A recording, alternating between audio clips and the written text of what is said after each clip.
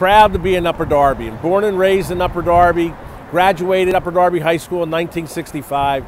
Dad had a barbershop at Marshall and Grace Road. It's a great community. It's diversified, and I'm proud of it.